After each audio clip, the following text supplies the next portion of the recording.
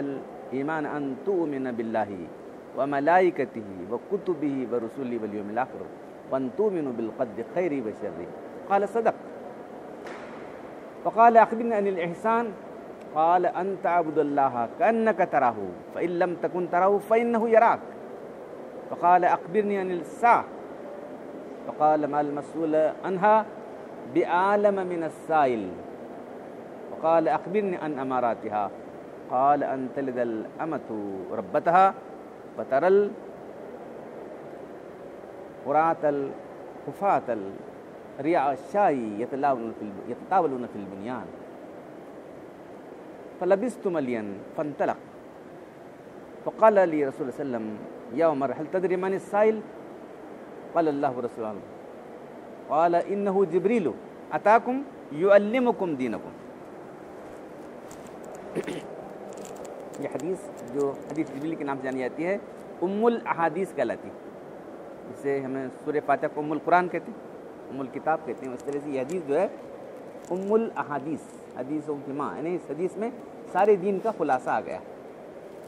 तो साहबा कराम जो हदीस बयान करते हुए उस महफिल का नक्शा भी हमारे सामने खींच देते। वहाँ की ज़िंदगी हमारे सामने आ जाती। तो हज़रत उमर रज़ी अल्लाह हदीस के रावी कहते हैं कि हम हुजूर अकरम सल्लल्लाहु अलैहि वसल्लम की खिदमत में मौजूद थे।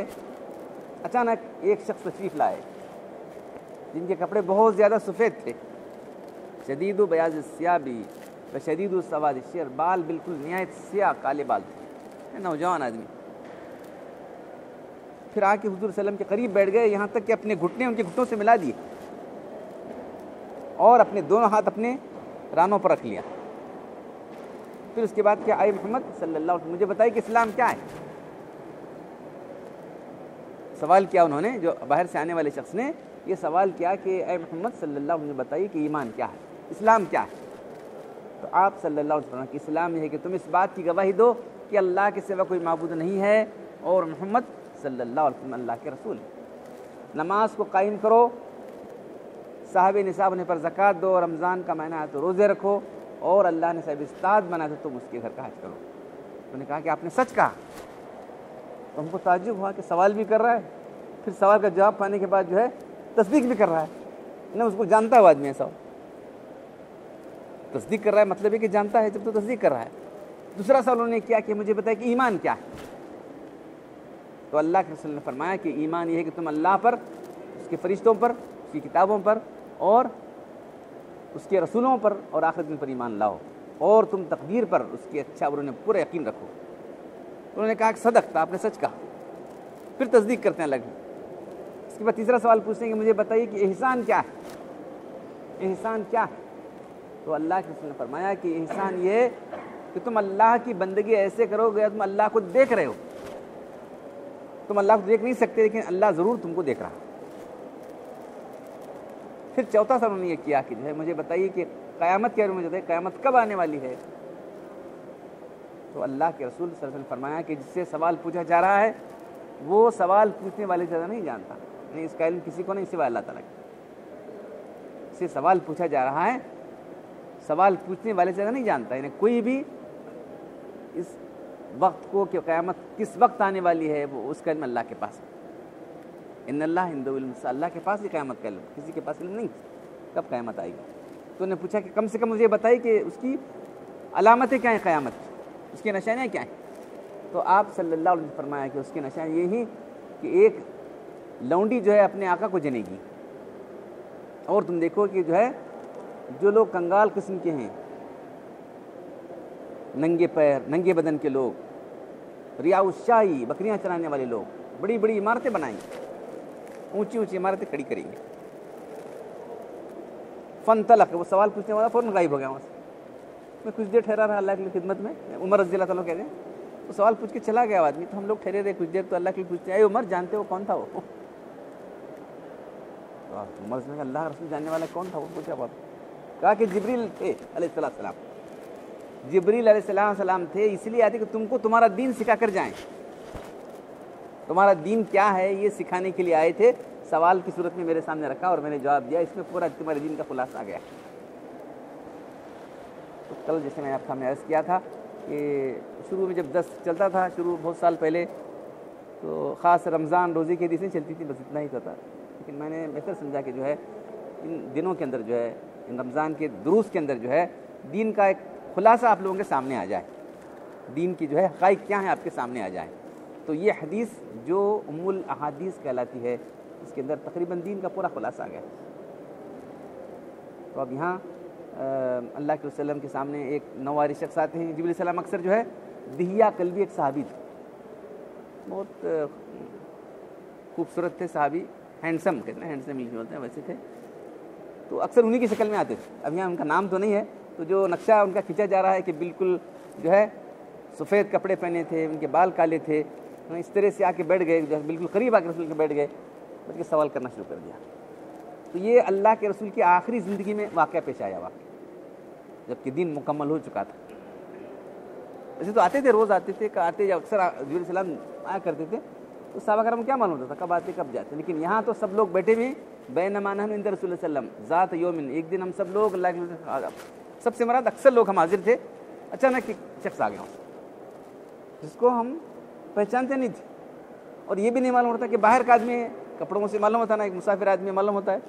उसकी थकावट की वजह से, उसके, इसके असरात, सफ़र के असरात की वो भी नहीं मालूम हो रहा। ला युरा सफ़र। सफ़र का असर भी नहीं मालूम हो रहा है उस पर। और कोई हमारा पहचानता भी नहीं। एक नौ जो है, अजनबी शख्स की तरह आप तशरीफ़ लाई जी सलाम, हजूर के करीब बैठ गए, बैठ के सवाल करते हैं आप। तो मुझे बताए कि इस्लाम क्या है? तो इस्लाम और ईमान, अगर दोनों आते हैं तो इस्लाम से मराद ज़ाहिर अमाल है? याद रखो। ईमान से मराद एतक़ादात। जब इस्लाम एक लफ्ज़ आता है, सिर्फ़ इस्लाम, उससे मराद हमारा दीन इस्लाम मुकम्मल है। इस्लाम एक मुकम्मल दीन है जो अल्लाह की तरफ़ भेजा गया इन दीन इस्लाम, ये बात। तो उसी के अंदर अकायद भी हैं, अमाल भी हैं, और जो है तमाम चीज़ें हैं। अहकाम भी हैं, जो है तमाम चीज़ें हैं उसके अंदर। अकायद हो, अमाल हो, अखलाक हो माशरत सब उसके अंदर है। दीन इस्लाम जो है, मुकम्मल दीन है वो। लेकिन जब ईमान और इस्लाम इस तरह से दो अल्फाज आते हैं तो ईमान इस्लाम से मुराद वहाँ ये होती है कि दीन के ज़ाहिरी काम।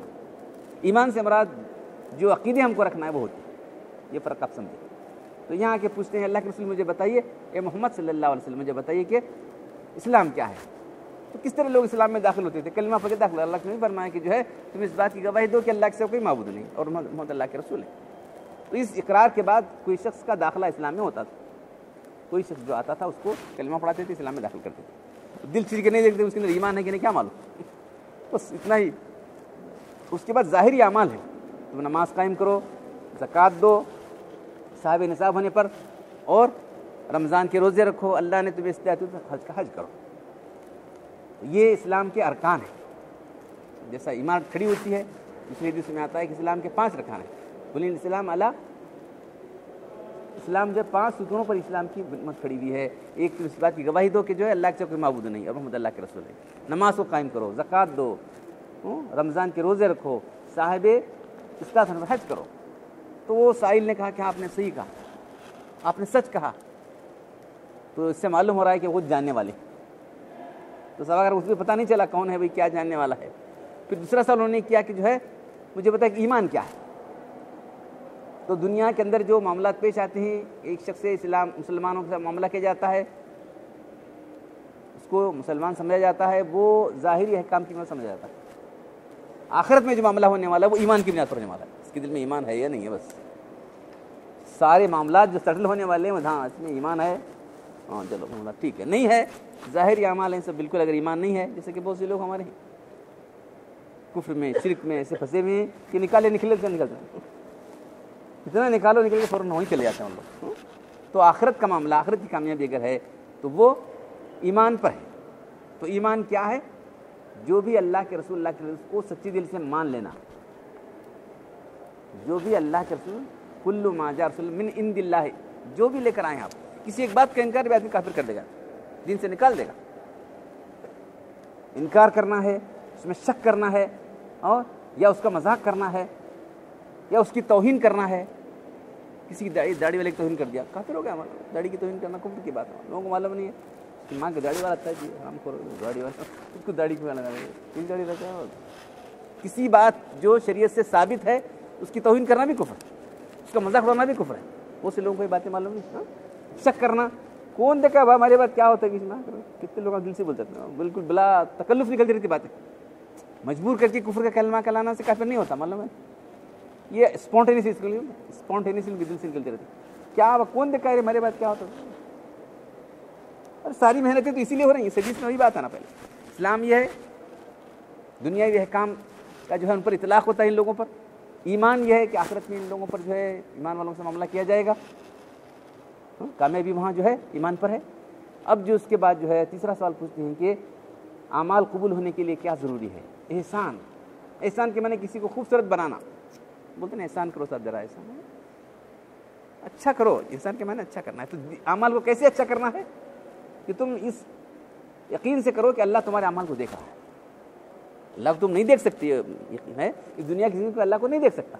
वो ख्वाब में देखा है, फलां है, ये ये सब बहुत सारी चीज़ें बुज़ुर्गों की हो। ख्वाब में अल्लाह का इजहार किया ख्वाब की बात ख्वाब में।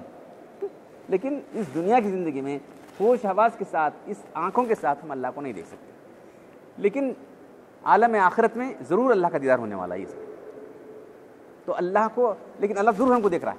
तुम अल्लाह को नहीं देख तुम अल्लाह तुमको ज़रूर देख रहा है। अब ये यकीन हमारे अंदर पैदा हुआ तो हम क्या कोई गलत काम करेंगे बताइए अल्लाह हमको देख रहा है। अब आप कुछ मजदूरों काम के लिए लगा देते हैं। अब ऊपर निगरानी कर रहे हैं तो वो ठीक से कर साहब देख रहे हैं तुम्हें ज़रा बाहर चले जाओ हाथों छोड़ बैठोता हूँ साहब रोगी तरह बैठो सुन फुट रही तो ये यकीन हो कि अल्लाह मुझको देख रहा है। कोई देखे ना देखे। अल्लाह जानता है। इससे अमाल के अंदर हुसन पैदा होता है, अमाल के अंदर इखलास पैदा होता है। एहसान यह लफ्ज़ है दूसरा लफ्ज़ इखलास। यही तो अमाल की रूह। अमाल की रूह क्या है कि अल्लाह को हाजिर नज़र काम करना बस अल्लाह जान रहा है बस। दिल का हाल अल्लाह जाने वाला है। मेरे ज़ाहिर का हाल अल्लाह जाने वाला है। मेरे बातिन का अल्लाह जाने वाला है बस। ये है एहसान। ये समाज सारे अमाल की रूह है। ईमान की रूह है, इस्लाम की रूह है। ईमान भी अगर सिर्फ़ ज़ाहिर ईमान है तो काम नहीं आएगा। जैसे मुनाफिन के बारे में अल्लाह ताला वो मैंने ना से मैं यकूल आमन्ना बिल्लाही व बिल आखिरी बामा हूँ बेमोमिन। कुछ लोग ये कहते हैं कि हम अल्लाह पर ईमान लाए, आखिरत पर ईमान लाए। हम इस बात की गवाही देते हैं कि अन्न कल रसूलुल्लाह। अल्लाह इस बात की बात है कि बेशक आप अल्लाह के रसूल हैं। अल्लाह ये बात कहते हैं कि ये लोग झूठे तो ईमान भी अगर सिर्फ़ ज़ाहिरी है, अंदर ईमान नहीं उतरा है तो काम आने वाला नहीं। अमाल सिर्फ़ ज़ाहिरी ही दिखाने के लिए वो भी काम आने वाले नहीं। तो सारे अमाल की कबूलियत इखलास पर। उसी को यह एहसान से ताबिर किया गया है। तो एहसान से ताबिर के बताया, एहसान किस तरह पैदा होता है वो बताया। एहसान इस तरह से पैदा होता है कि तुम अल्लाह की बंदगी ऐसे करो कि अल्लाह तुमको देख रहा है। तुम्हारे ज़ाहिर को देख रहा है, तुम्हारे बातिन को देख रहा है। तुम्हारी हरकत से अल्लाह वाकिफ है। लोग जाने या ना जाने, लोगों को जो है, इसका इल्म हो या ना हो? अल्लाह तो ज़रूर देख रहा है हर चीज़ को। तुम्हारे जो है जाँच पड़ताल कर रहा है अल्लाह ताला की क्या कर रहा है। अब ये सारी चीज़ें किस लिए हैं? एक दिन अल्लाह के पास जाना। तो वही चौथा साल उन्होंने किया कि मुझे बताइए, क़्यामत कब आने वाले क़्यामत कब आई किसको मालूम? किसी को अल्लाह किसी कोई जाने वाला नहीं। कम से कम उसकी निशाना तो बता दीजिए मुझे। क़यामत की निशानी ये है कि जो है अंतलिदल अमतु रब्बतहा, एक लौंडी अपने मालिका को मालिक को जनेगी। तो अब शायरी ने अलग अलग मतलब बयान किया है कि लौंडी कसरत हो जाएगी, उनसे जो पैदा होने वाले जो उनके मालिक होंगे, वो भी लिखा है। कुछ लोगों ने लिखा है कि जो है, एक बेटी जिसका ताल्लुक बाप से ऐसा होना चाहिए कि मालिक की तरह होना चाहिए था।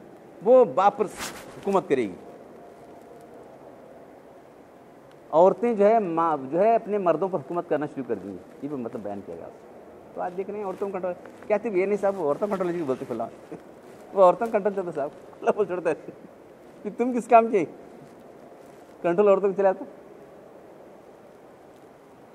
तो ये हालात, उसके बाद फिर पूछे कि और और क्या निशानियाँ होने वाली हैं? निशानियाँ ये होने वाली हैं कि जो लोग नंगे बदन थे, नंगे पैर थे, बकरियों के चराने वाले थे बड़ी बड़ी ऊँची ऊँची इमारतें बनाएँगे।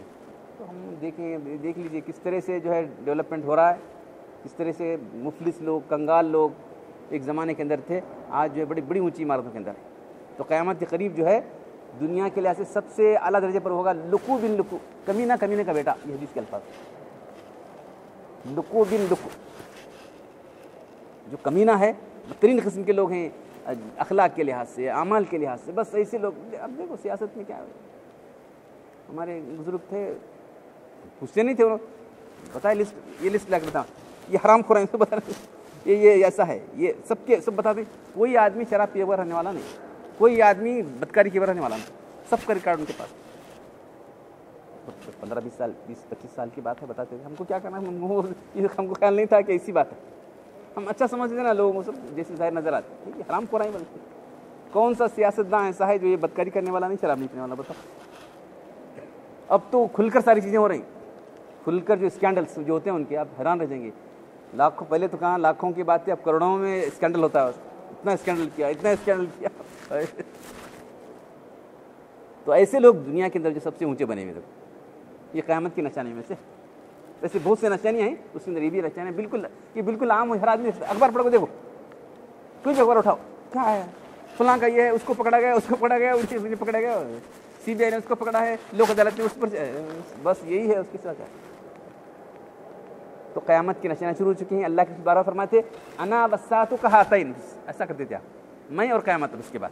ना कोई नबी आने वाला है, ना कोई उम्मत आने वाली।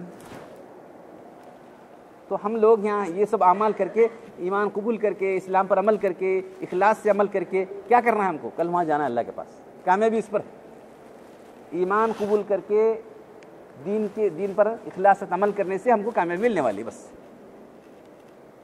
कामयाबी अखी कामयाबी, आखिरत की कामयाबी है।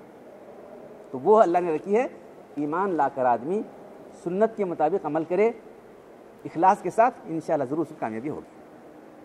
अल्लाह ताला मुझे आप सब लोगों को सुनने और अमल करने की तोफ़ी अता फ़रमाए अल्हम्दुलिल्लाहि रब्बिल आलमीन वस्सलातु वस्सलामु अला रसूलिल करीम रब्बना आतिना फिद दुनिया हसनतम व फिल आखिरति हसनतम व क़ीना अज़ाबन्नार रब्बना ज़लमना अनफुसना व लम तग़फिर लना व तरहमना लकुनन्ना मिनल ख़ासिरीन